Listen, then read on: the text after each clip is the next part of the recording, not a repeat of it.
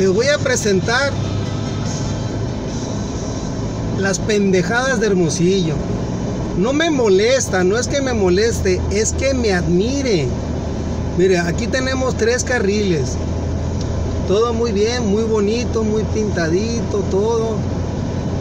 Pero lo que pasa es que hay cintas métricas, ya digitales, pues.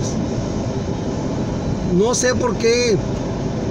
Mire, aquí ya no concuerdan. De tres carriles se hacen dos. El de acá, de este ladito, es para, para, para estacionarse a los carros y ya mocharon un carril. ¿Por qué? No lo sé. Es una calle muy transitada, es la Domingo Olivares, aquí en la colonia Las Granjas. Y más adelante, pues aquí venimos bien, ¿no? Pero por ejemplo, ¿por qué diablos queda este carril en el medio? O sea, ¿para dónde te haces? ¿Para la izquierda, para la derecha? Mira, los carros están todos sacados de onda aquí atrás, mira. Entonces, mira, allá rechinó un carro, ya, ya, ya andaban chocando, pues. Y el carril, que, el carril que era para estacionarse se vuelve a hacer carril. No sé, la verdad, por qué hacen pendejadas que no proceden, pues.